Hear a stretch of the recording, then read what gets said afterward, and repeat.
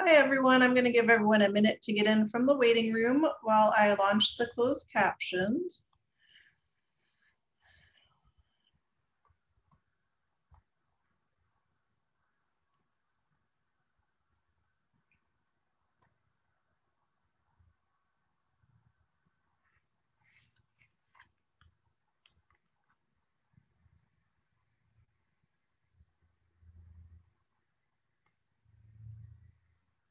Okay, the closed caption should be up. You'll see a little red live box. It's at the top of your screen and you can click on that to access the closed captions in a separate window.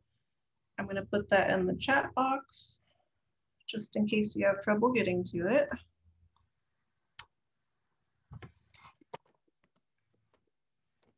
Well, welcome everyone. I'm Christy Baglow, the Director of Statewide Training at Florida Legal Services and I'm really glad to have you all with us today for a webinar about immigrant detention in Florida. We have an amazing panel put together and it has been approved for CLE credit. Thank you to the public interest law section and Cabral Banner. I have to give her a shout out for always getting our CLEs approved quickly. So thank you so much to PILS and Cabral. We have with us today Melissa Morantes and she is the executive director and co-founder of the Orlando Center for Justice. And we have Laura Pichardo Cruz with us, executive director of Hope Community Center in Apopka. And then we have Andrea Crumrine. She is an immigration staff attorney at the Legal Aid Service of Broward County. And finally, we have Jessica Schneider, director of the detention program at Americans for Immigrant Justice. This is being recorded and the PowerPoint will be sent out tomorrow along with the recording and the CLE information. The panelists have agreed to take questions throughout the webinar, time permitting. So you can type those into the Q&A box and we will take them at certain points during the presentation. Thank you again, everyone, for being here and welcome to our panelists. I will hand it over to you.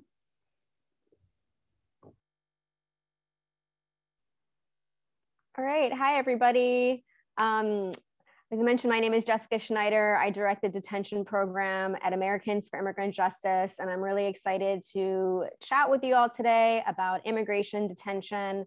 Um, we have a lot of great information to cover. And before I got started, let me see if I can figure this out in Zoom world. If folks could maybe raise their hands if you are an immigration practitioner and you've been practicing zero to five years. Let's see. All right. So we've got a few of you. Okay, if you could, I guess, uh, put your hand back down, if that's how that works. Um, and some of you, any immigration practitioners that have been practicing, you know, five years and on, if you could raise your hand. Okay. A few of you. All right. Okay, and if you could put your hands down. And then for those of you that, you know, really have no experience in immigration law and you're coming here to, to learn the basics, um, if you could please raise your hand.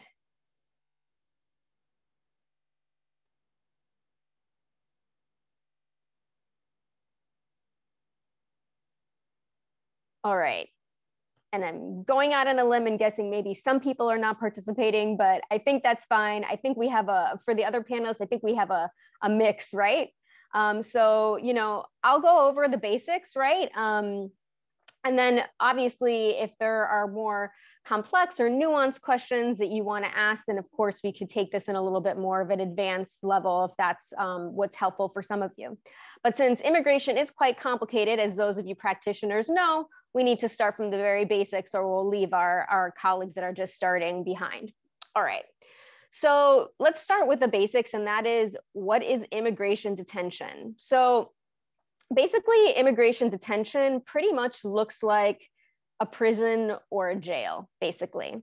And although immigration laws are civil in nature, they're not criminal in nature, you have this kind of really weird criminal-esque sort of system where people are being held in detention centers and jails because um, immigration believes that they have either they violated immigration law or they have some kind of criminal conviction that makes them what we call them removable from the United States, right?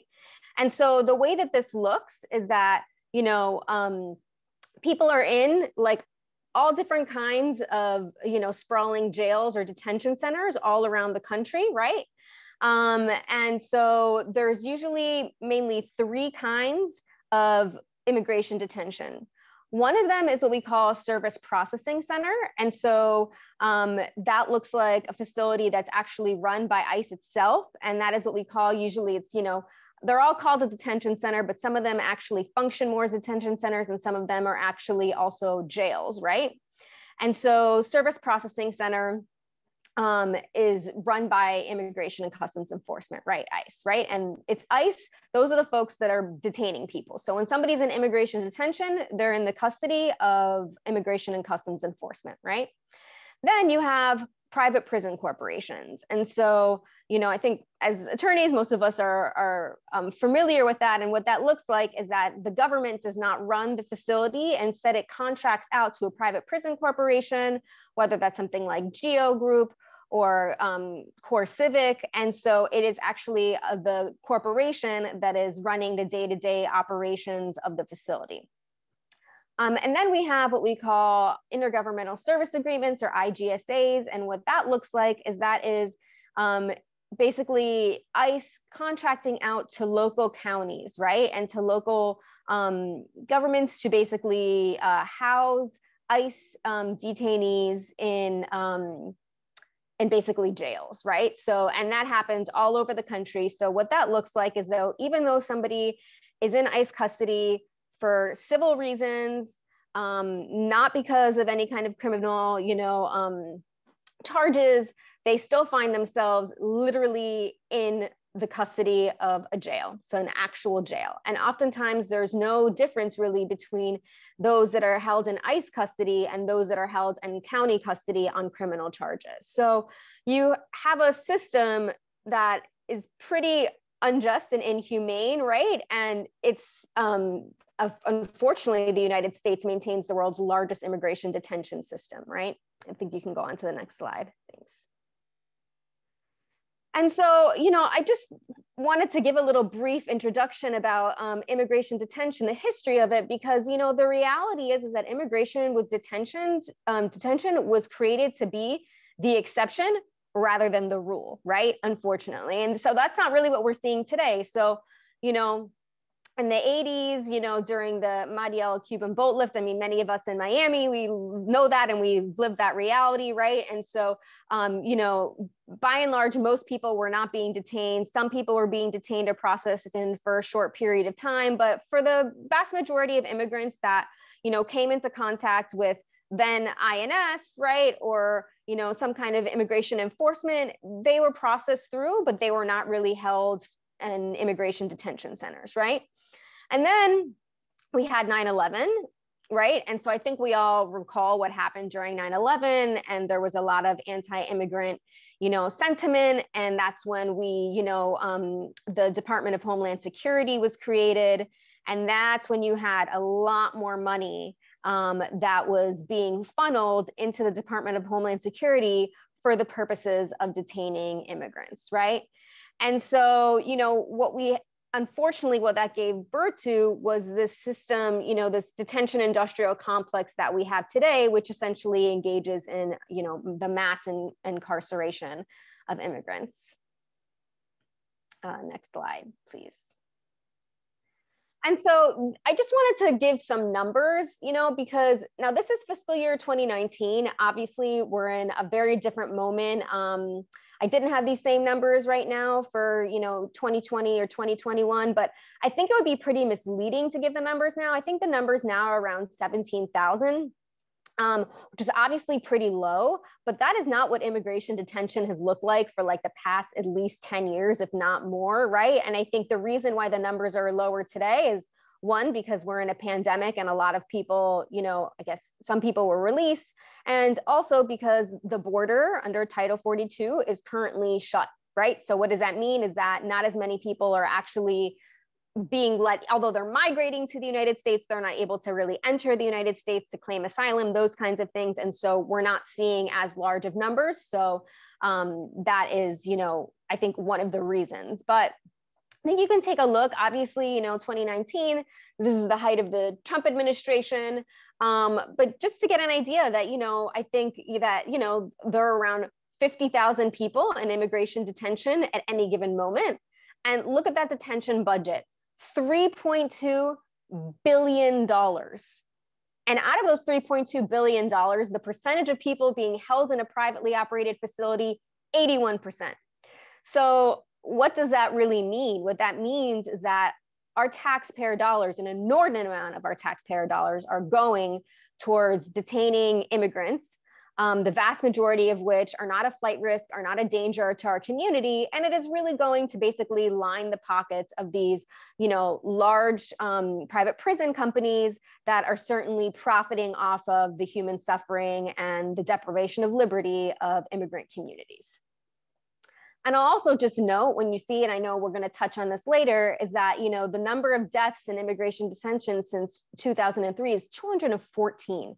That is a very, very high number. And so when us as immigration advocates say that immigration detention is literally deadly, that's not hyperbole, unfortunately. Okay, next slide, please. So, you know, focusing on Florida, since us are Florida practitioners, I just wanted to give a basic overview of kind of what immigration detention looks like in the state of Florida. Um, and so I think Florida is a really good example because of immigration detention nationally, because it has all the different kinds of immigration detention centers that exist, right? We have the Krome Service Processing Center, um, which uh, detains around 600 individuals. That is their capacity, anyways. That's in um, Southwest Miami, right? You know, um, literally bordering the Everglades. So used to be a lot more in the middle of nowhere as Miami has kind of grown more towards the west. It's it's um, not quite as isolated. Um, but that is actually run by by ICE itself. It's a service processing center, and that's kind of what makes it a little bit unique. Excuse me, since the vast majority of um, detention centers are actually not run by ICE themselves, right? They usually contract that out. And then you have the Broward Transitional Center, which is in Pompano Beach, Florida. Um, and for those of you that aren't as familiar with Pompano Beach, it's not that far from where Fort Lauderdale is. So still in the in the South Florida area. And this is, you know, Broward Transitional Center is run by the GEO Corp, right? And so that is actually GEO Group, which is a private prison corporation that actually has their headquarters in Boca Raton, Florida. So it is a, a Florida um, company. Um, and so they run the Broward Transitional Center and the Broward Transitional Center, um, their maximum capacity is around 700 beds um, for to detain both men and women. I'll back up and say that at Krome, um, they only detain men. Um, and so the thing that's a little bit unique about what we call BTC, right, which is another way that we call the Broward Transitional Center, BTC, is that um, it is a low priority facility. And so what that means is that it's basically for immigrants that have either little to no immigration history, um, excuse me, a criminal history.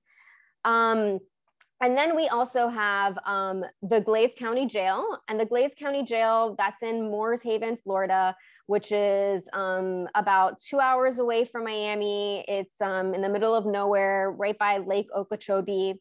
Um, and so that's run by the Glades County Jail, actually. That's the run by the county. And so, you know, that is the same, you know, facility. If you're in Glades County and you commit a crime and you get arrested, you're going to the Glades County Jail. And that's the same place where ICE um, detains uh, immigrants, you know. Um, and Glades has a really, really horrible history of conditions and xenophobia and racism that uh, pervades there, unfortunately.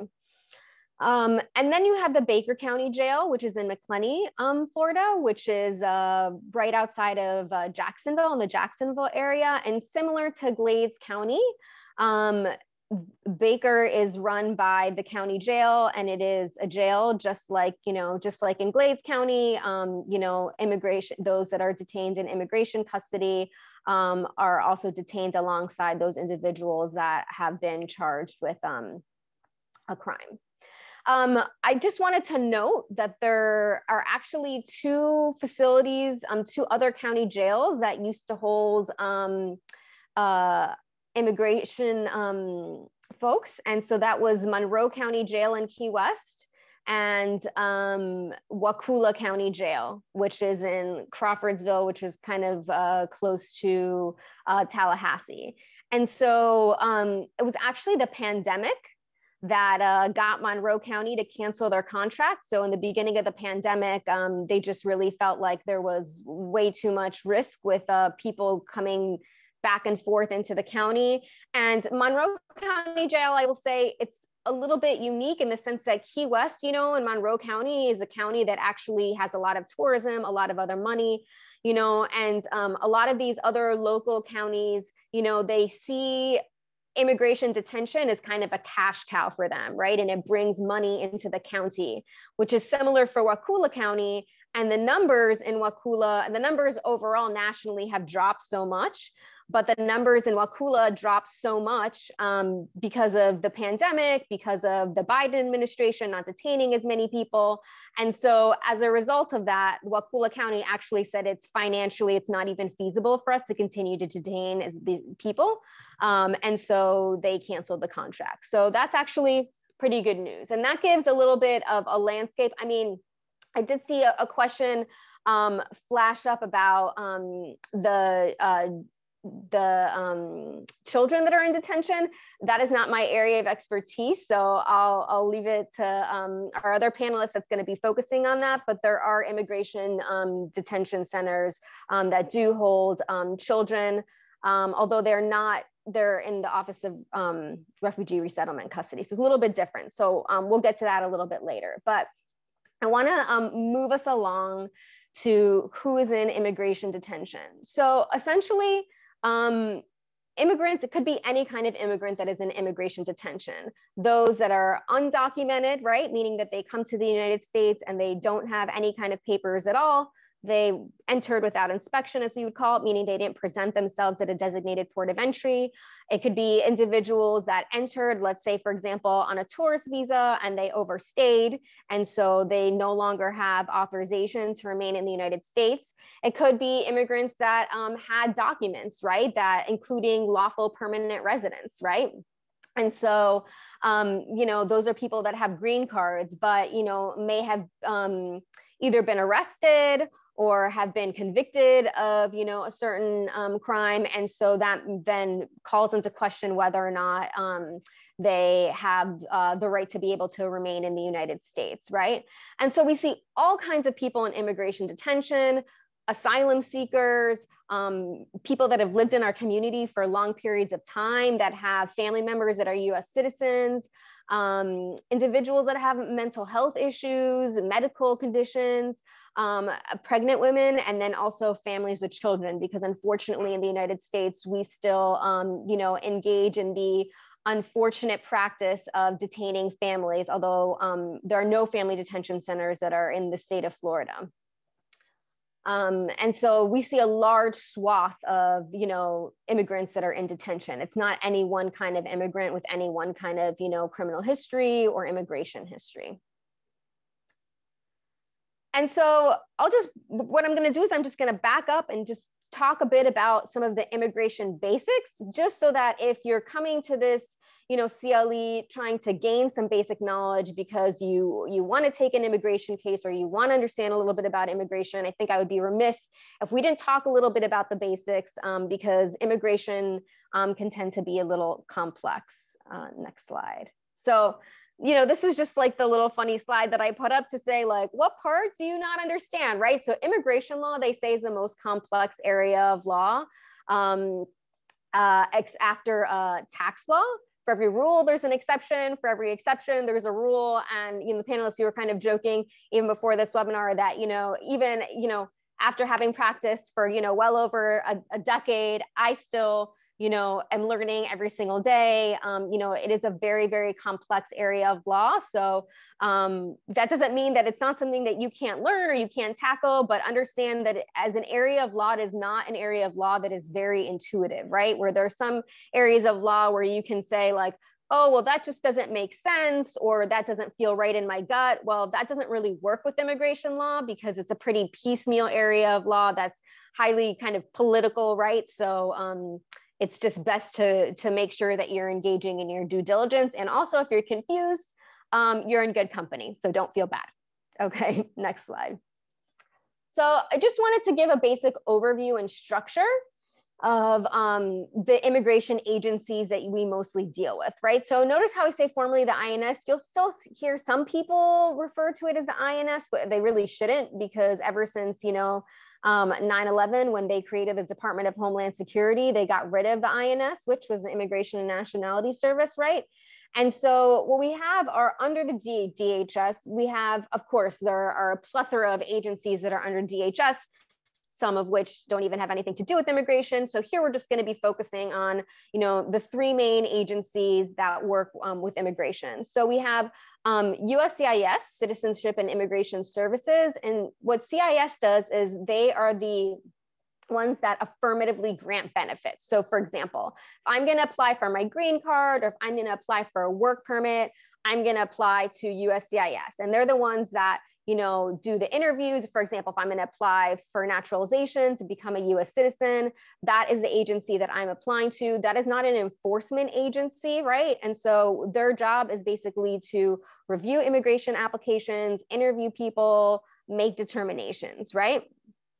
Um, then what we have is immigration and customs customs enforcement ice right? And so this is the agency that you know obviously is in charge of detaining and deporting people. So you know like i already mentioned everybody that is in immigration detention is in the in, in the custody of immigrations and customs enforcement.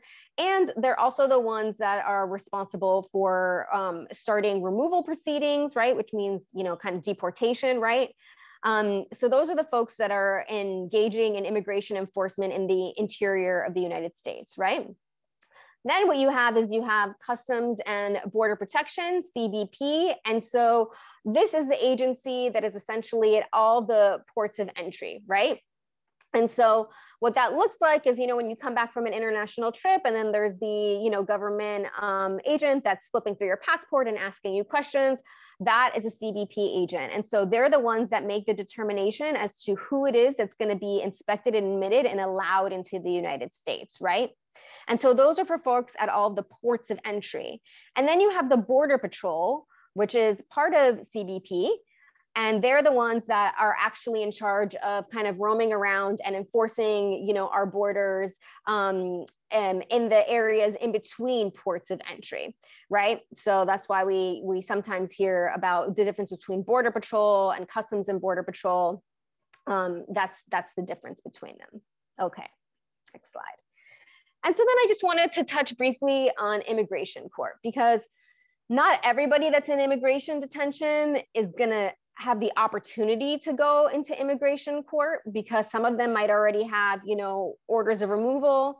Um, and so for those of you that aren't aware, an order of removal is kind of like deportation. Technically, there is a legal difference um, you know, the law changed, and so it should no longer be called deportation. It's removal proceedings. You have an order of removal, not a deportation order. We, a lot of us still tend to use that term interchangeably, and I think that, you know, kind of the lay term that most people use is deportation. So I just wanted to flag that, right?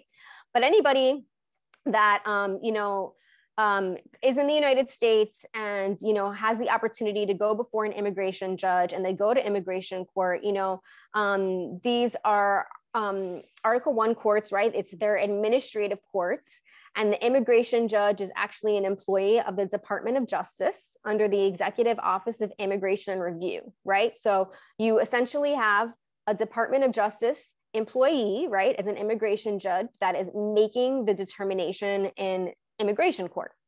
And so the prosecutors that obviously represent the in, those are the ones that represent the interests of ICE, right? And so it is actually ICE who is the agency. They're not only, you know, um, in charge of detaining and deporting people, but also placing people in removal proceedings and, um, you know, proving that they don't have um, the opportunity to remain in the United States under the law, right?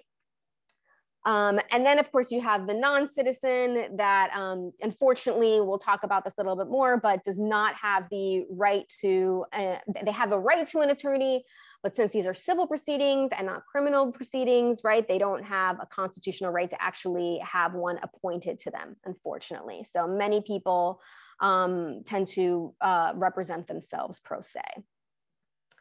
So, um, you know, an immigration court, right? Um, so I guess obviously a clarification is that the immigration court is not part of DHS, right? And it's part of the Executive Office of Immigration Review, which I think obviously is a good thing. Um, I would argue though that when we see, for example, you know, um, that the courts, the courts not being an independent, you know, kind of um, arbiter that is outside of the executive branch. I think that we see under different administrations um, that the immigration courts are uh, look very different and are given very different guidance. And I think we saw that a lot under the Trump administration, right? So that is kind of a little bit of a caveat and a little bit of, I think, um, a negative factor of immigration courts being under the, um, the Department of Justice, right?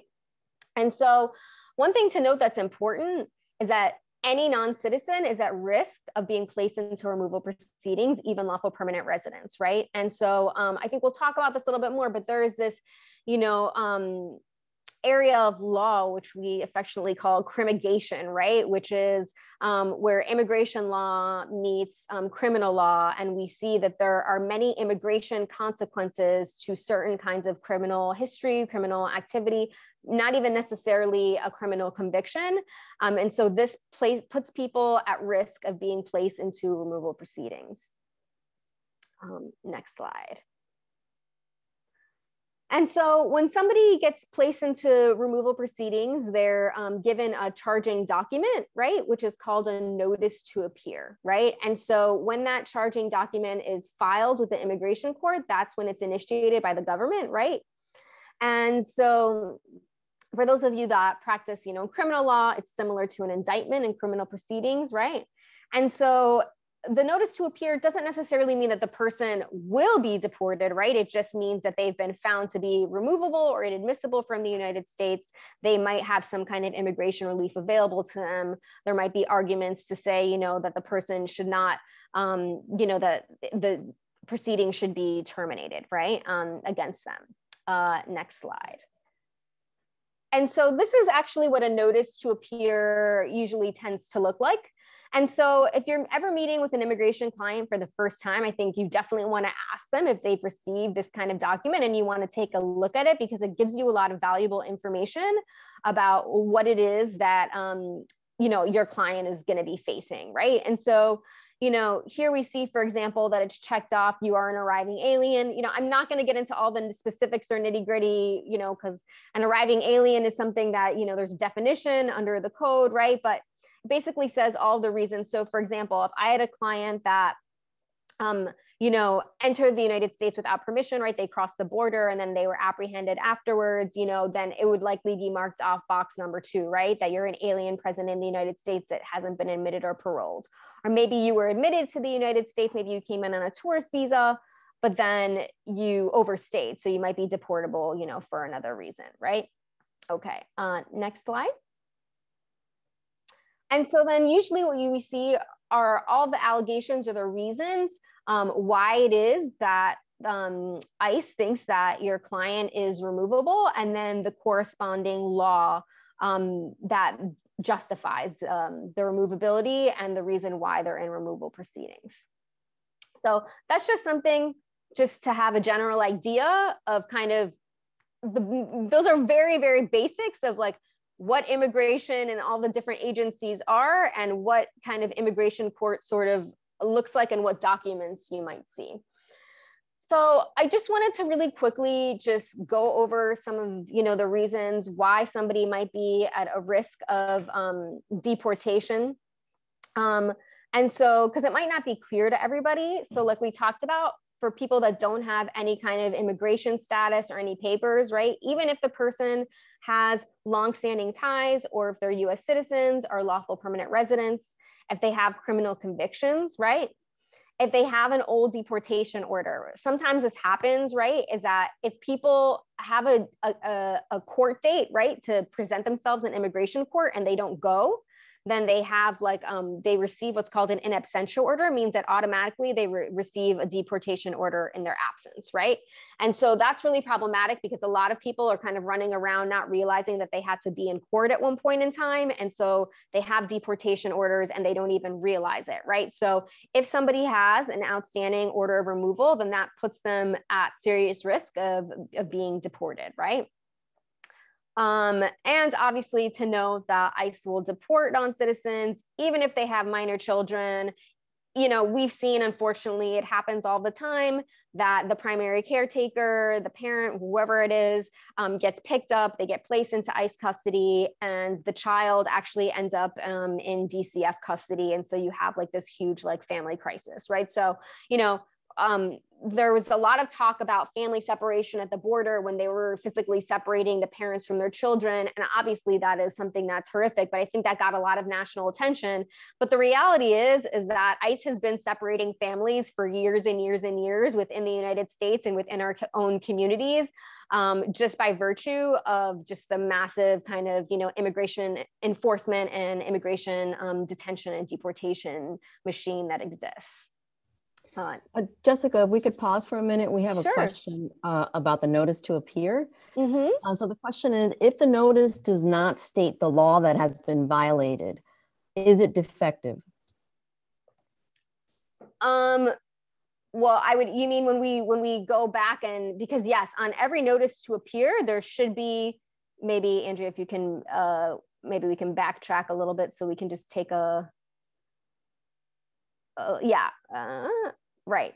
So if you see here, it says on the basis of the foregoing, it is charged a subject is removable. Yes, there has to be a law there that indicates why the person is removable, right? And so usually there is, and it would be an error, an error, I think, if there wasn't. And then for sure you would file um, what's called a motion to terminate, and you would basically just argue that the, that the notice to appear was not, you know, did not substantiate any grounds of, of removal, right? I mean, in reality, I think that the that ICE would probably just, you know, kind of refile an amended notice to appear. But yes, if there was no law or no kind of basis, you would uh, make arguments. And I'll also just note that, you know, we're not getting into the nitty gritty of it, but there could be, you know, you don't have to admit all of the charges on a notice to appear, right? You can deny some of the allegations. You can make arguments saying that your client is not removable um, for many different reasons. Oftentimes, you know, there are many complex and nuanced arguments that you could be making. For example, saying that your client, you know, actually is not convicted of a certain kind of crime that would make them removable. And so there are a whole host of things that's beyond the purview um, of the training today, but there are definitely a whole host of things that you can do to challenge the notice to appear to begin with in the first place. But certainly, if the notice to appear, um, you know, on its face doesn't have all the things that it needs to have, like, you know, the corresponding statute um, claiming why the client would be um, removable or inadmissible, then certainly you can contest that with the court. Okay, I think we can move on forward. All right. Okay.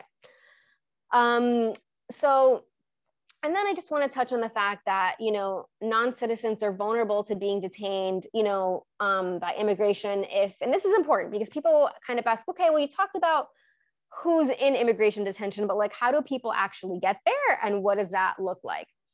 So I think what we tend to see a lot of times is that anytime that people that immigrants come in contact with the criminal justice system, their risk for then being um, funneled into immigration custody increases a lot, right? So sometimes if people are stopped by police, you know, uh, depending on what part of the states, you know, some parts of the state are more racist or xenophobic than others. I think we all just know that to be true. And so lots of times you'll have local law enforcement, sometimes even be calling ICE, right, to come and get people, right? Um, also if somebody you know if they finish a criminal sentence right um, there'll be what's called an ICE hold placed on them.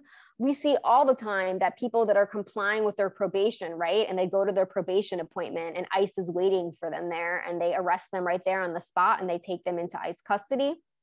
Um, this also happens a lot of times when people leave the United States and they re-enter. This um, tends to be a lot of times like um, uh, lawful permanent residents, people that have a green card, right? They might have an old criminal conviction that makes them removable, you know, from like, I don't know, like the 80s or something. And so they might have traveled many times and come in and out, but it happens to be that, you know, somebody kind of figures it out when they enter and then, you know, they actually don't even let them enter the United States and they just take them and put them right away into ICE custody, right? And also you know people that you know um, go to apply for naturalization or they go to the immigration office um, or they're in immigration court right? Even if it's just as a as a witness you know? Um, so anytime that you can come in contact with immigrant you know immigration unfortunately you're kind of putting yourself in the lion's den. Um, i've even seen cases for example of individuals that like went to an airport to pick up a relative.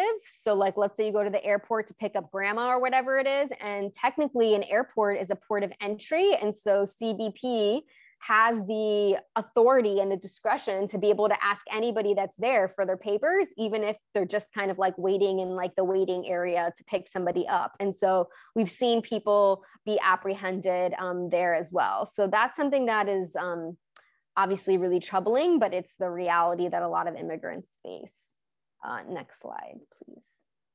And so these are some of the, you know, kind of what we call danger areas. And so I think this is important for all of you that might not be practicing immigration law, but that might work with immigrant clients.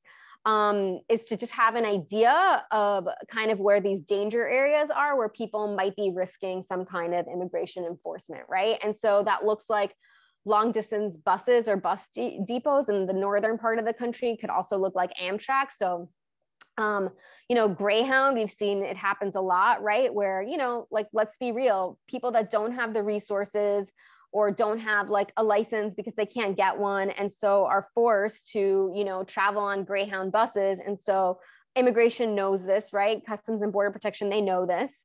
And um, also just back up to say that because the lovely state of Florida is so long and skinny and a peninsula, that the entire state of Florida is considered to be a border area because it's within 100 miles all of the state of Florida is within 100 miles of a nautical border. So what does that mean? That means that not only do we have immigration and customs enforcement enforcing immigration laws within our state, but we also have customs and border protection acting like they're in a border area, even if they're like in Disney World, which is nowhere near any kind of a nautical um, border. So that's pretty problematic because it means that CBP will get on a Greyhound bus and will just ask everybody for their papers, right? So we've seen that a lot.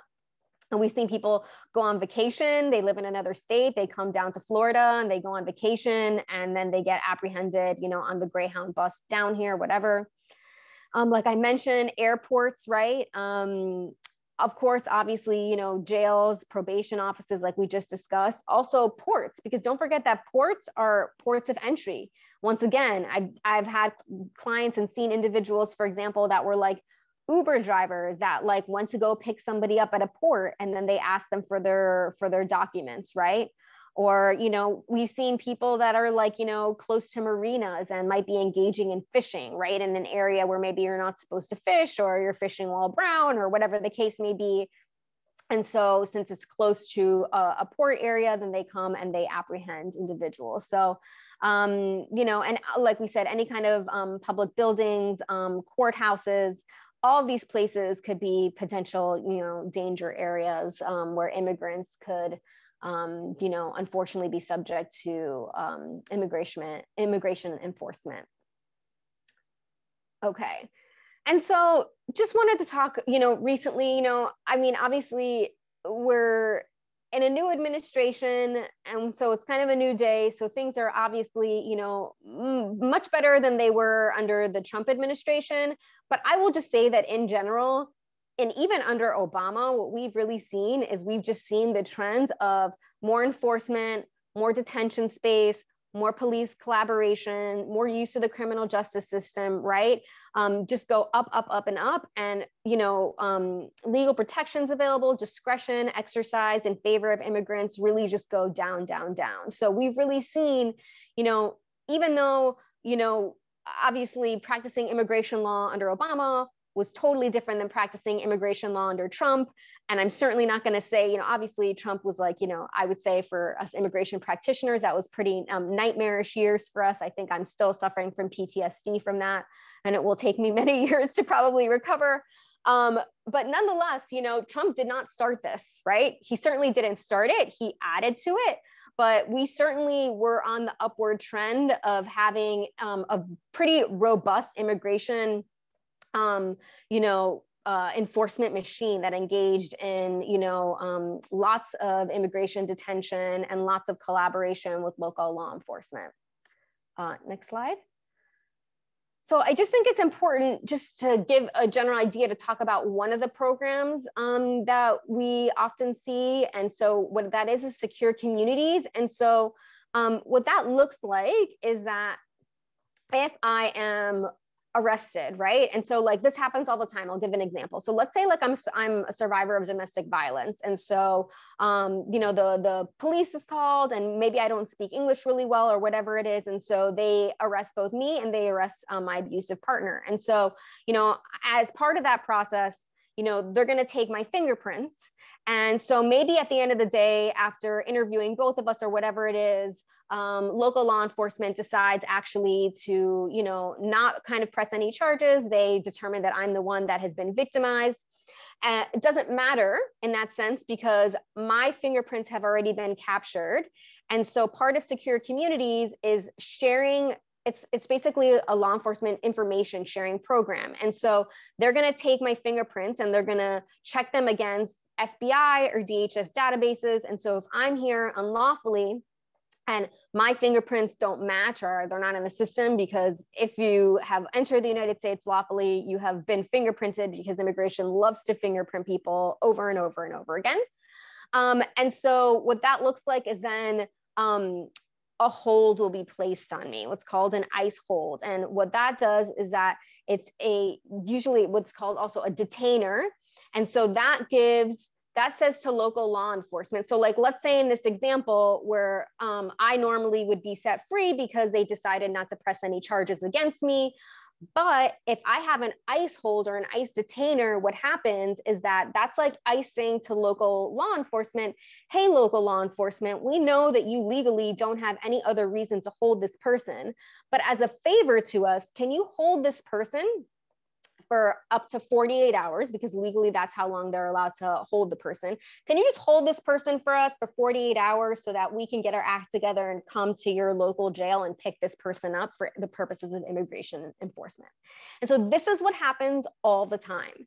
And so also where this usually happens is people driving without a license, right? And we see this all the time is that people, unfortunately, you know, within the state of Florida, if you don't have any kind of, um, you know, immigration papers, you're not going to have the opportunity to be able to get a driver's license, even if you would like to have a driver's license. And so we see a lot of racial profiling, a lot of, you know, kind of pulling people over while brown or, you know, people that kind of look more like migrant workers or whatever the case may be um, a tail light out, whatever, whatever it is. And so the person gets pulled over. And if they don't have a license, then nine times out of 10, they're arrested.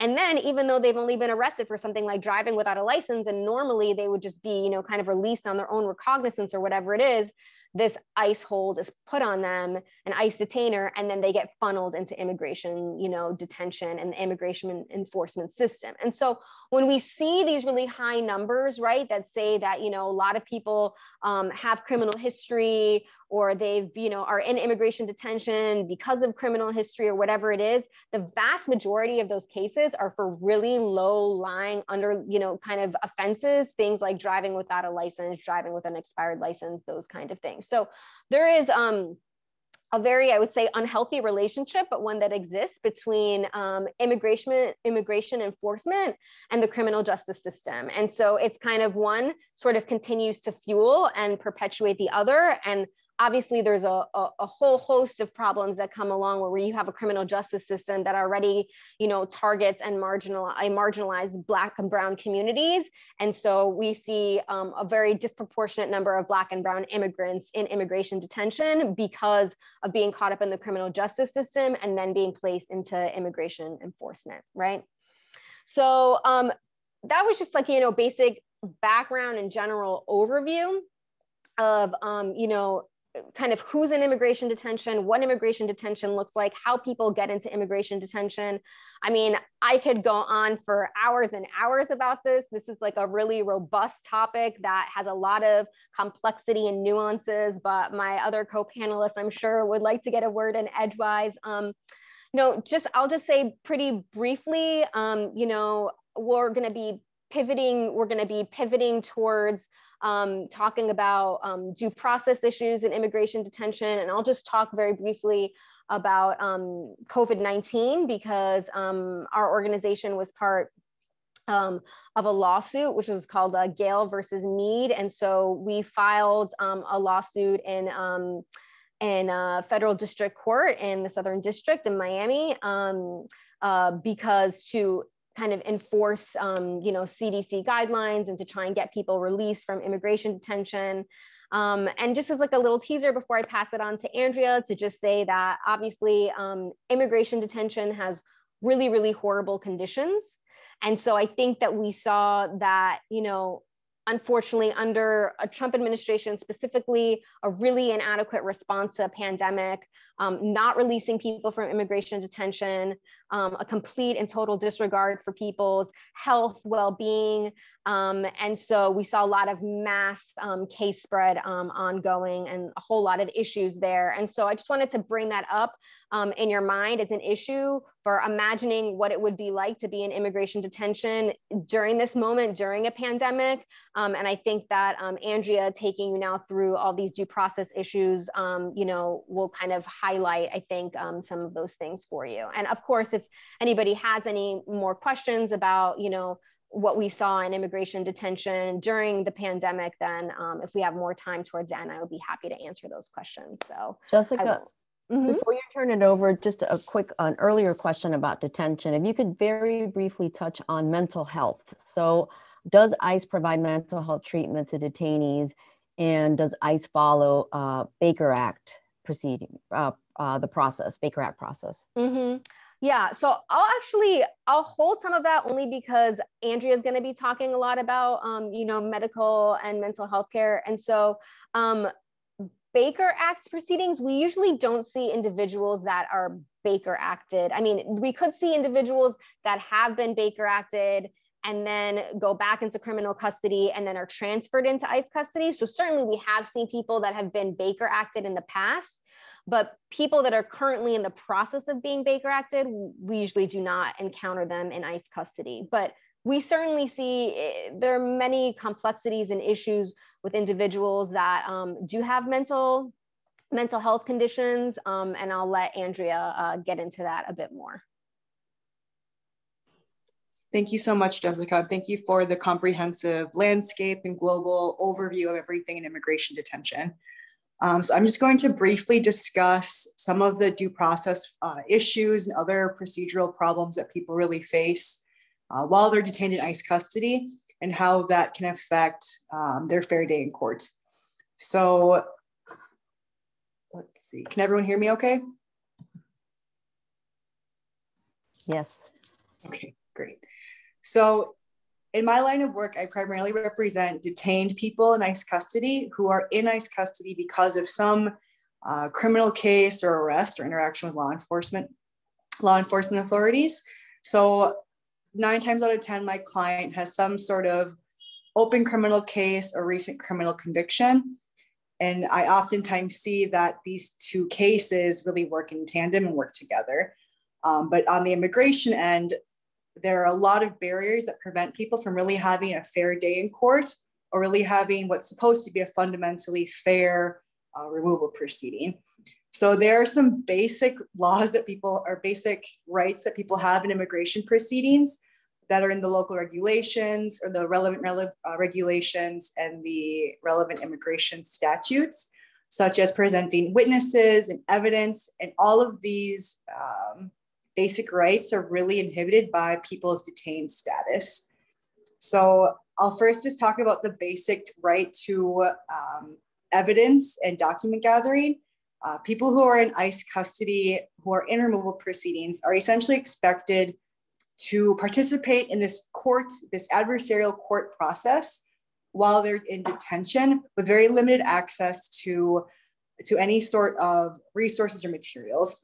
So we see a lot of problems generally with people being able to make photocopies of documents, um, get access to what laws um, even apply to them or what applications they might need to submit. Um, the law libraries in each detention center, um, oftentimes people or clients have difficulties accessing them. Uh, there's a specific schedule for when they can get to them, and it just creates a very unfair procedure simply because they're detained. Um, also, people, um, while they're in custody, have difficulties accessing documents like their medical records or their personal property. So, if someone came from a local county jail and let's say their green card is in their property or their medical records are still in their property, it could take them a month to even get access to these documents. They really need uh, to be able to present to the immigration judge or even to their ICE case officer to assess whether they should even be detained. Um, so it's important to note that people oftentimes have two different immigration court aspects of their cases. One is their general removal case, which is whatever benefit or uh, defense they might present to the immigration judge to be able to stay in the country. And the other would be kind of their custody case. So if they qualify for a bond hearing with the immigration judge, or if they can be reviewed for release with their ICE case officer. And oftentimes people need access to their property, their documents, or perhaps they don't want to give over their original documents, they want to preserve a copy. All of this is made so much more difficult um, by their detained status. Uh, we saw, particularly during the pandemic, um, legally that people were unable to really get their medical records. Um, sometimes it would take two months um, to be able to get a copy of their medical record to show they have a health issue um, that places them at greater risk if they were to contract COVID. Um, and it also plays a role in their immigration court hearing. I mean, if they have a significant health issue, such as asthma or cardiovascular issue, um, that might help them in getting in a bond from the immigration judge. But because of lack of access or availability to a law library, uh, property, uh, a copying machine, uh, the entire process is just much more difficult. Um, other important evidentiary concerns in any trial or especially in immigration court um, are witnesses. Now, Jessica t- talked a lot about these remote facilities and how difficult it is to access people. Um, for a lot of our clients at Legal Aid who are indigent, their family members or close caretakers may not have access to a vehicle. And paying for an Uber or a Lyft to go testify at a hearing to Krome, which is overdone by the Miccosukee Casino, is very difficult, especially if you live in Lauderhill or any of the Northern Broward areas. Um, we've also seen that some of the immigration judges down here in South Florida are not really interested in witnesses appearing by telephone. So the entire detention context or complex really makes it difficult, not only for detained people to meaningfully, meaningfully participate in the proceedings, but also for their family members to also engage and be um, available to assist their loved ones in their immigration court cases. Uh, the other thing I should note is that oftentimes individuals are appearing for these proceedings by video. During the pandemic, everyone in all the facilities have been uh, appearing either by video or by telephone, um, which is just fundamentally really not in the favor of the, the client or the person who's detained in custody. Um, not only does it dehumanize them and the, it allows the immigration judge to think more of them as a case number than a person, um, but they just don't have that human contact or that ability to really assess if someone is credible, if they're telling the truth, um, things that just might pull some more sympathy or empathy from the from the immigration judge. So a couple other things just to think about when we're talking about detained cases. So as Jessica mentioned, these facilities are far away and it's they're remote, and oftentimes um, individuals who might be able to pay for a private attorney are priced out because of the logistical costs of traveling to the Glades County Detention Center, traveling to these other remote facilities. And so oftentimes people who are in detention don't have access to an attorney. And I know during the pandemic, a lot of local nonprofits have had to uh, cut or drastically reduce their presence in the local facilities. So we see a lot of people who either don't know really what their rights are, what their options might be, or fundamentally what removal proceedings are. I think this presentation has already really shown that these proceedings are very complicated. And for people who don't have access to an attorney or information, um, it can be very overwhelming, if not fundamentally unfair. Um, other things to note, the while people are detained, and this is something I commonly hear from my own clients, uh, that just the distribution of information to people who are in custody um, is very, very slow and oftentimes frustrated. I know that the rollout of information about COVID 19 and social distancing guidelines was all very, very slow in all the facilities. And even information about immigration court being transferred to different facilities, all of this happens at such a slow, slow pace. And even make something as basic as phone calls. Oftentimes, phone calls are very costly. I know during the pandemic, ICE has given people a certain slot of 20 minute free phone calls. But once those phone calls are up, if you are indigent or can't afford to pay for more phone calls, it can be very difficult to access your family members or access other information. Um, I'd also like to note that, especially for Glades County Detention Center, ICE officers oftentimes go there uh, once a month, very infrequently, particularly during the pandemic. And so people clients, anyone who's in custody, just their access to information, knowing what's going on with their cases um, is all very, very delayed. They can submit uh, what's called a detainee request form to gather more information about their cases, but oftentimes the response is um, handwritten or not very helpful or comprehensive, and surely not the same as speaking to someone in person. Now, there are just a whole host of other issues that come along with trying to fight your detained case um, from a remote facility. Um, and this could be a whole other presentation, but um, I do want to note that there are, we have seen a lot of issues with people who speak rare languages, particularly indigenous Mayan languages, and participating meaningfully in the removal proceedings. So if you speak a particular um, indigenous language, they may not the ICE may not have an interpreter available, the immigration court may not either. Um, and surely the signage or forms that one has to fill out in immigration court are not translated in all languages. Um, when people are in immigration court proceedings and they want to file an application for relief, such as asylum or cancellation of removal, let's say, um, the courts require that people submit forms in triplicate copy in English so if you are illiterate and you don't speak English, the odds are already very much stacked against you. So all of this really is to kind of um, highlight or underline that these proceedings are extremely difficult, especially for detained people, not to mention detained unrepresented people. Andrea, if I could uh, pause there for a second, because we have a couple of questions from the audience. Um, one question is, uh, uh, where would a practitioner find uh, regulation or policy as to what qualifies for bond? Sure. So, different. There are a few particular. I mean, first, the American Immigration Lawyers Association offers resources. The ILRC also offers a whole host of resources um, that are even available online. Uh, the American Immigration Council, they also provide great resources. Uh, the University of Miami Immigration Clinic, I also know provides great free resources online. Um, if you're looking for more in-depth um, technical resources, I would recommend Mary Kramer's Immigration Law Resource Book. Um, and of course, Ira Kurzban's um, Immigration Law Desk Book. Those are all good resources um, to learn about bond eligibility.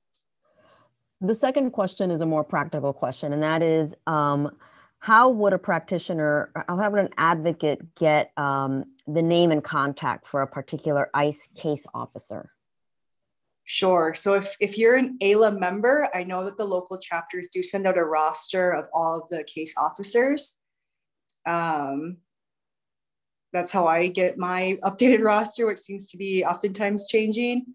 Um, otherwise, sometimes when clients are processed or they do speak to a case officer within a week or so of entering the facility, um, sometimes they'll tell the client, like, so and so is your deportation officer.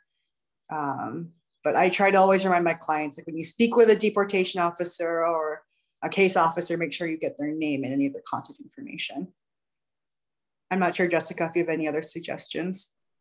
Yeah, I would just say that um, sometimes if you, excuse me, call the front desk of whatever facility it is, you can sometimes maybe ask if they have the information for the deportation officer, um, or at least um, uh, one of the supervisors, because the way that it works is that everybody is assigned a deportation officer.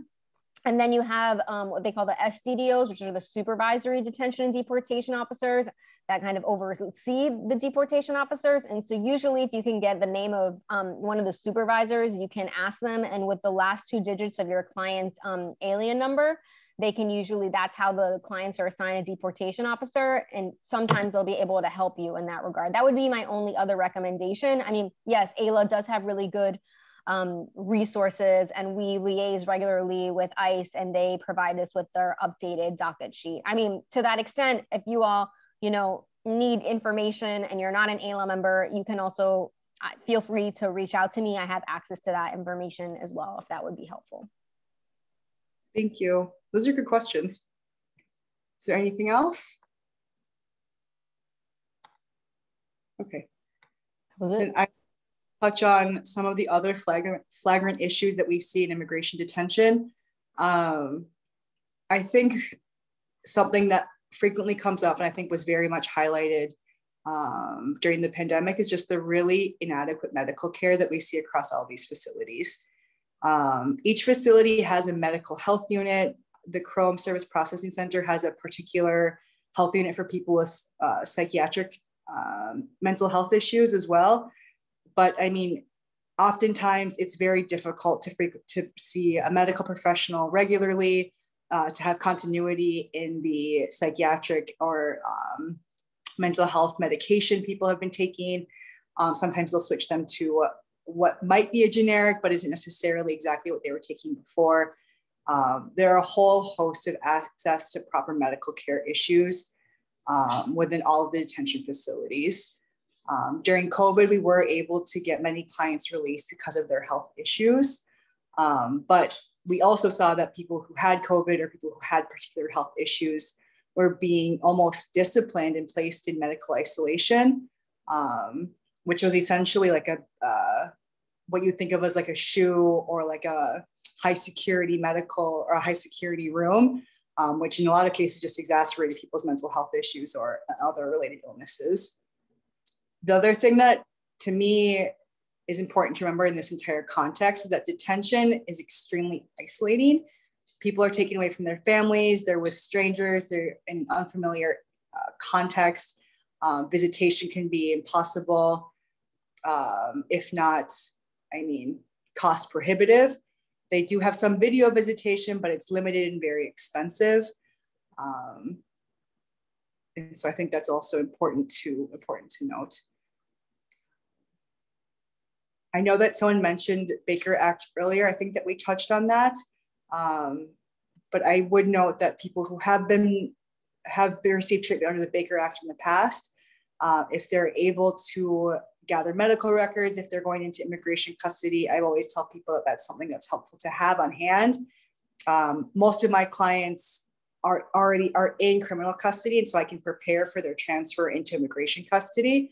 So when I'm doing that process, I might try to gather their medical records. If they have an immediate relative they care for who has health issues, I might try to get their mm-hmm. medical records to have those on hand for a release request or a bond hearing.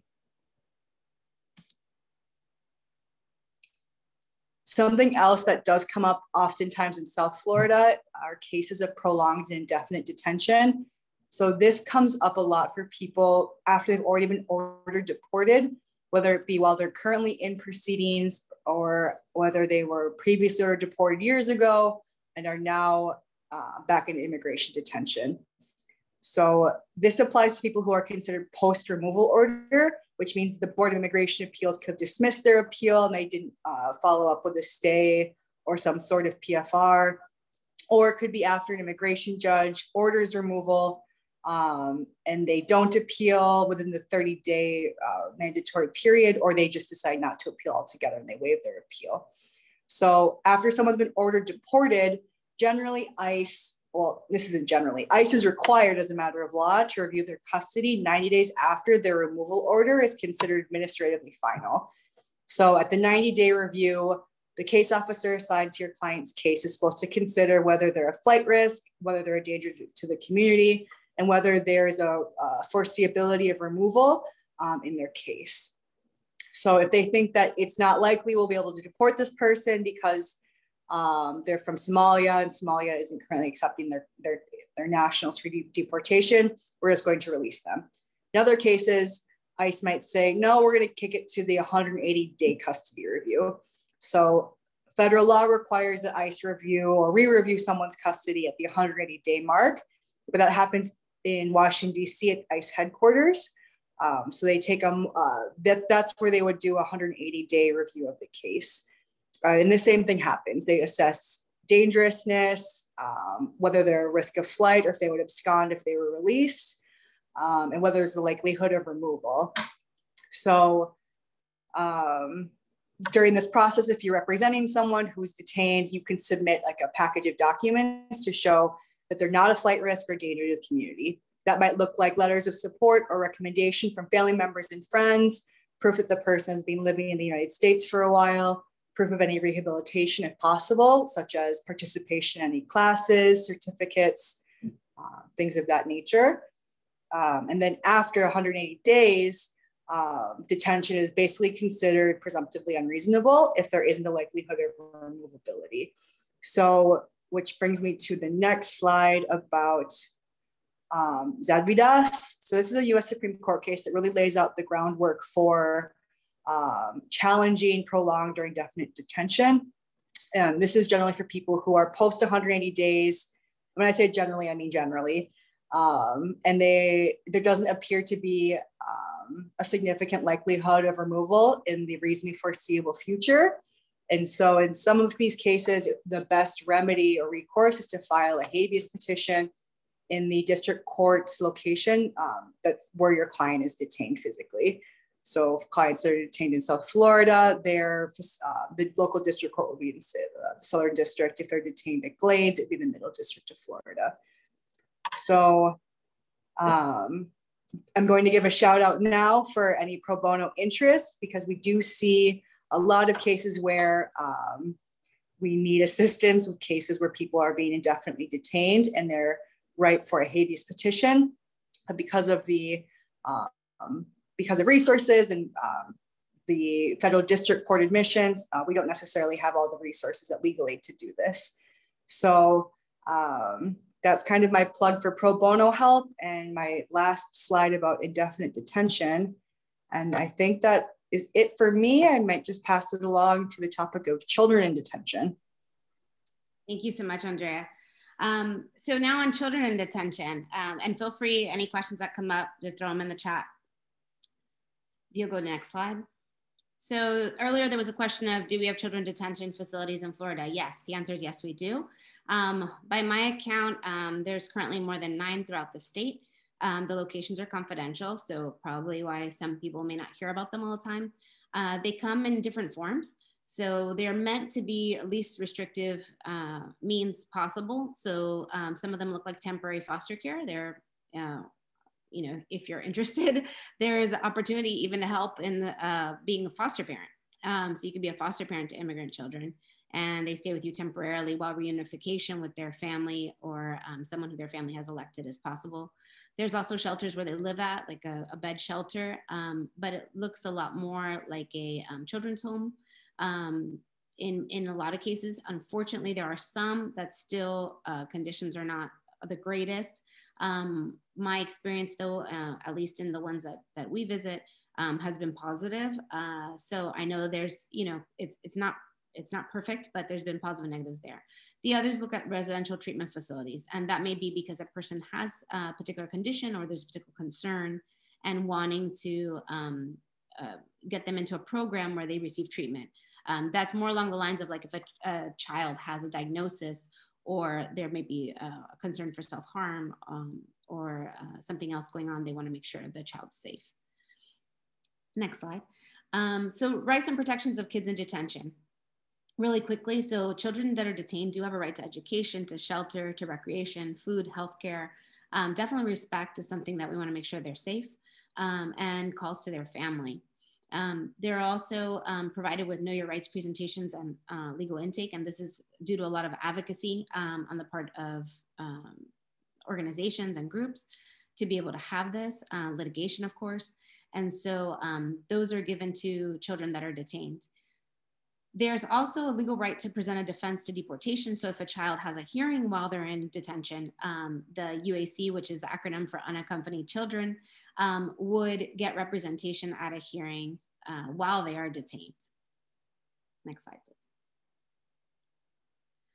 So how does this all happen? How do children get detained? How does it work? So the first question we'll ask is what is the Flores settlement? Um, so why it's important. So this is what governs detention and treatment of immigrant children that are in government custody.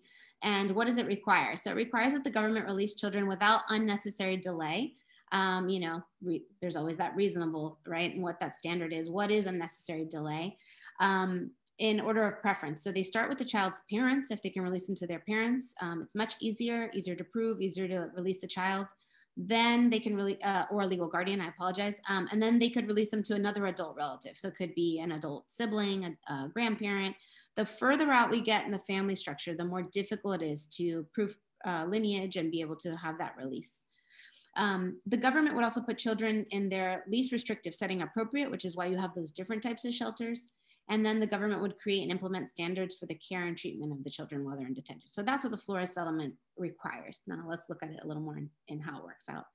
Um, we also have the Trafficking Victims Protection Reauthorization Act, and these two sort of play together. Um, so I'll explain a little bit about this and know that I'm talking about it only in the perspective of detained children um, because the TVPRA does a whole host of things in immigration um, and more. Um, but I do want to just talk about it just in the context of immigrant children. So, I mean, detained children. So in 2008, the TVPRA codified parts of the Flores settlement into federal law, preserving certain rights for immigrant children. And in 2015, there was a district court judge um, in California, uh, Judge Dolly Gee, who ordered that the administration must release detained children and their mothers saying that the detention centers in Texas had failed to meet the Flores standards, right? So earlier on, I know some of our other speakers talked about just the deplorability of some of the detention centers, what they look like, um, how, how they appear. And there was a huge concern for some detention centers in, in Texas. Um, some of you may know, may have heard about Dilley. Um, Dilley, Texas in particular was one that, that came up repeatedly. Um, so Judge Gee's decision, what it did to the Flores settlements in the context of children, if I just stay within that context, um, it expanded Flores to not only cover just unaccompanied children, but also accompanied children. So if a parent comes with a child, um, the rules also apply um, to that child, not just children that come on their own. Okay. Um, under the TVPRA, unaccompanied children, and for those of you may not know, unaccompanied children are those that come across, come into the country or um, on their own, so they're not with a guardian um, who's with them. And um, I'm going to say that a little lax because someone could come with a guardian, but if they can't prove that that's their that they have that relationship, they may be separated. Um, always, uh, you know, it seems like the interest is looking out for a child um, to make sure they're not being trafficked um, and for their safety. And so a lot of that separation happens um, from that point, which can be very um, disheartening and, and scary, especially when a child's traveling with an aunt. Um, or a family member who they're very close to. Sometimes it's a father, but may not be on the birth certificate. These are some of the family separation issues that we ran into and, and we may see when it comes to children. Um, under the TVPRA, an unaccompanied child must be transferred to the care of ORR um, custody. And so that's why the Office of Refugee Resettlement, that's ORR, is the one that's responsible for them and places them at these shelters all across the United States. Um, there's, there's not currently um, a uh, sort of order of where they go is sort of based on availability and, and I'm sure there's some other internal factors that we're not sure how, how they're placed. Um, but children seem to go all over. So a child may end up in Florida, but then be released into Oregon, or a child may end up at Texas, go to New York, and then go back to Texas, right? Um, uh, so a lot of those factors play into who they're gonna be released to and how that rolls out. Under the TVPRA, an undocumented child is, um, is eligible for something called special immigrant juvenile status if reunification with one or both parents is not possible due to abuse, neglect, or abandonment. So for some of you practitioners who practice uh, dependency, who practice in probate court, who practice in other courts, um, you know, you may be able to help out immigration practitioners who are not licensed in the state of Florida. That may be another pro bono plug um, or volunteer opportunity for children because um, there's a great need. And uh, in effect, um, for even those immigration practitioners who stop doing uh, state cases, that are related to SIJ, we'll talk about uh, just briefly. Um, they're, they are alive and well. Um, we are doing them in, in plenty of counties um, and being successful.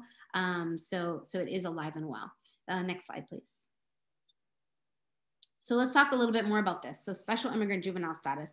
So why is this important to kids that are detained? Well, while they're detained, um, the there are attorneys um, and some something of what my office at Orlando Center for Justice does, um, American Amendments for Justice does as well, and there may be and there are others, um, but the organizations are um, are watching uh, to see if children have eligibility for SIJ, if children are nearing 18, if children um, have been abused, abandoned, or neglected.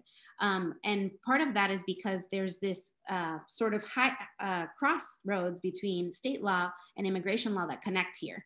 So in, a, uh, in order to get special immigrant juvenile status under immigration law, it says that you have to have a predicate order from a juvenile court.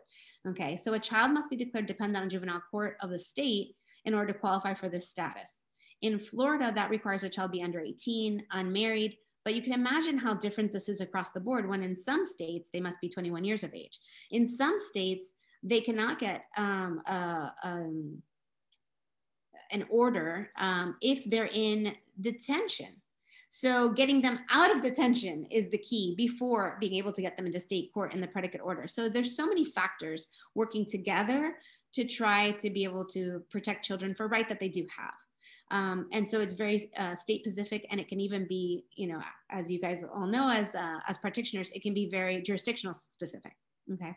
Um, so if they're detained, um, so like the children that we deal with that are in detention centers, if they're detained, in addition to just being able to take them into state court um, and get a predicate order, we have to request specific consent.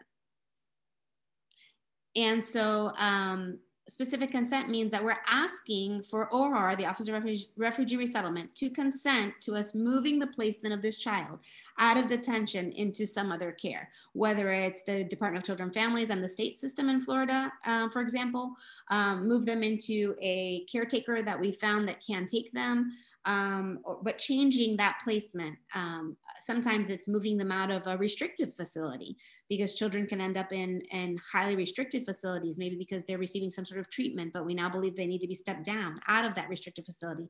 Because uh, as I mentioned, under the Flores settlement, they need to be in the least restrictive setting for children. And so sometimes that means getting them out of some of these treatment programs once they're ready, but the, the delay can take time, the red tape can take time. And so trying to use what we have, um, our legal tools to get them out of these facilities. And this can be one of them. Um, there's an overlap with juvenile court here, as I explained, because it requires that this, there's a predicate state order with specific findings. So the goal was to explain just how we use these tools to deal with detained children and detained children's cases, not so much to go into specifics of it, but those of you that have experience in dependency court, family, like I said, probate, um, there can even be via guardianships. There's a lot of great opportunity here for being able to work with children that are either detained and even after they've been released. All right, let's go to the next one a Flores bond hearing. So this is another tool, tools that we can use to help detain children um, and tools that can be used for detention. And it's important whether you do work with detained children or not to know these this information because even as an immigration practitioner, you can be re representing the parent of a child who's detained. And then you're starting to hear about those issues and those concerns. So um, thank you all for um, being a part of this, whether you work in another area or in immigration, because I think it can be very important. So what is a Flores bond hearing? Um, so on July 5th, 2017, in a case called Flores v. Sessions, um, there was it was confirmed that all detained immigrant youth have a right to a bond hearing before an immigration judge. Okay, so what? Why is it important? Because it's a tool that we can use with children. So in a Flores bond hearing, an immigration judge gets to determine whether a child poses a danger to, commu- to a community.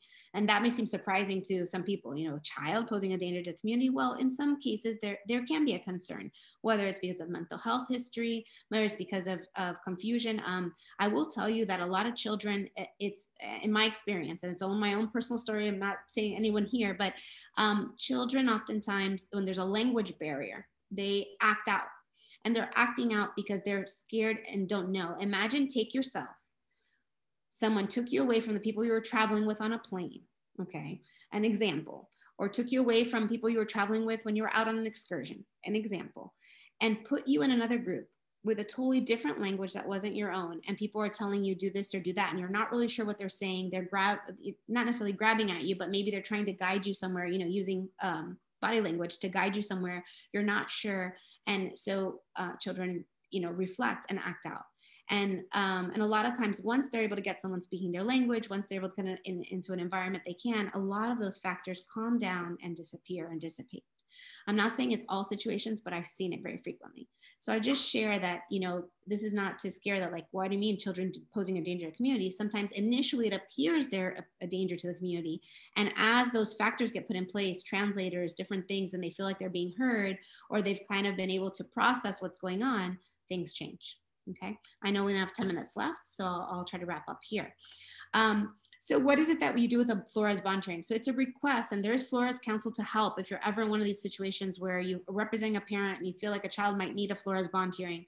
Um, there's Flores counsel that can we reach out to. Um, but what it is is a special hearing for a judge to determine if that child no longer is a threat um, or wasn't a threat in the first place, if there was a misunderstanding um, using evidence um, that can be put on. Now, even though the, the judge may determine, yes, they're no longer a threat to society, they can be released, they're not automatically released or are still in charge of making sure that there's a sponsor or a place to send that child. And for children in secure detention, which is those that are being under treatment um, for any concerns, this kind of hearing can be an opportunity to contest their level of confinement, just how much they're being confined um, and their risk to others, or even sometimes, you know, whether they indeed did or did not um, commit a commit criminal offense. Um, so it's a very important tool. And um, if you go on to the next slide. Um, so this is for the end. I know um, just for some of you with our CLE, but those are, I'm open for questions. I think all of our panelists, if they want to join again, we have about nine minutes left that we can be open for any questions that might come up regarding just these different areas as far as detention or detained children. Thank you so much, Melissa. Um, while we're waiting for folks, uh, if you have any questions, uh, we do have a few minutes, you could put them in the chat. I just want to renew Andrea's call for assistance on pro bono. Uh, all three of these organizations are nonprofits operating in South and Central Florida, and they are, I'm sure, overwhelmed with more cases than they can handle. And for reference, that's Americans for Immigrant Justice in Miami-Dade, Legal Aid of Broward County, and Orlando Center for Justice here in Central Florida. Um, so if you are so inclined and you have the time, please reach out to them. They can really use your help. Um, are there any other questions? Uh, I just want to say while we're waiting to see for questions, um, sometimes people are wondering like, oh, I don't know if I have time for pro bono. What are other ways that I can help? Um, there's all kinds of support mechanisms. So um, please feel free to, to reach out on our website or AIJ's website or even Broward County, I'm sure um, or to any of the panelists um, email where they can direct you in the right direction. But there are different things. For example, um, sometimes it can be supporting by um, when you purchase on Amazon, supporting the nonprofit um, as one of your groups. Sometimes it can be through donations, um, being able to donate to efforts. If you have a particular heart for children in detention, I know a lot of us maintain like a list of things that are needed for children uh, who are detained. and so there can be things that that kind of make their detention easier, help you know help ease the time. Um, it, the same may, may be existing for people who are um, adults who are detained. I don't know if you can donate minutes or time or contributions to, to help them be able to have those minutes to communicate. So I just want to kind of put it out there because I feel like sometimes we're like, oh, I don't know if I can handle extra pro bono. You know, we're getting out, of, we're in a pandemic, you know, there's a lot going on. But um, I think that a lot of times um, the monetary or in kind uh, donations can be super helpful. So just want to put that out there. And um, can you confirm also that there's varying levels of commitment to these cases and also that there are virtual opportunities? I would imagine there's still a lot of virtual opportunities if folks were interested. Is that right? Yes, uh, at least on our team, that's my experience. I'll, I'll let Andrea and uh, Jessica um, explain on their end. But with us, yes, absolutely. Um, it can be everything from um, uh, for detention work um, a lot of times and we're, we're constantly brainstorming. So near us and we're in central florida um, we have baker um, which is a jacksonville facility. We're constantly brainstorming like what are ways that maybe if we're not able to provide direct representation could we provide assistance in a way that may be temporary um, maybe informative um, from creating resource guides for families sometimes? We have um, students, we work with law students and we create like resource guide for families. Like how do you find your 10 family member? Basics on knowing how to get their A number. It's usually on a wristband that they wear and it has it, has it on it. Um, just different things that seem uh, simple, but they can help uh, even practitioners um, be able to assist them. So there's all kinds of things that, that, um, that we could do at varying levels. I wanted to let everyone know I'll, I'll send out a resource list with all the agency's websites and ideas for how you can help with the recording and the PowerPoint tomorrow. But thank you to all of our panelists for all that information. I, I learned a lot, of course, and I appreciated all the, the tips for those of us who, who are not immersed in the immigration world every day. And thank you to all of you for surviving the past four years and for continuing to do this work in Florida. I know it is never easy, uh, no matter what the political situation is. So thank you. I don't see any other questions. Got some compliments about the great presentation. And I did want to announce the CLE number in case anyone is listening on their phone and can't see it on the screen. The CLE number is 4937. Again, it's 4937 and it's been approved for 1.5 credits and you'll get the recording link and the PowerPoint link from Zoom tomorrow. And just let me know if you are not able to get that. Do any of our panelists have any final words? I have a, a brief plug, if I if I may. Yes. Um, so uh, this presentation was co-sponsored uh, by um, the public interest law section of the Florida Bar. We do have what has uh, been long dormant, an immigrant uh, work group um, I am trying to revive that. Uh, this CLE was kind of a, a, push in that direction. I'm going to put my email in the chat. Uh, please reach out to me. You do not have to be an immigrant practitioner or expert. Uh, we're looking for anyone, practitioners who um, work in public interest and who, whose work touches on uh, immigrant communities. It can be anything from criminal defense, um, eligibility uh, for, for public benefits from the immigrant community, anything like that. Uh, if you have ideas and you want to share them, we'd love to hear from you. So I'm going to go ahead and, and put my contact information there if anyone's interested. And I'll definitely send that out with a link to the PILS website and the materials tomorrow so you can join if you're not already a member. But thank you so much to all of our panelists and for Laura as a great moderator. She made my job very easy today. So thank you all for attending. I hope you have a good afternoon. Bye-bye.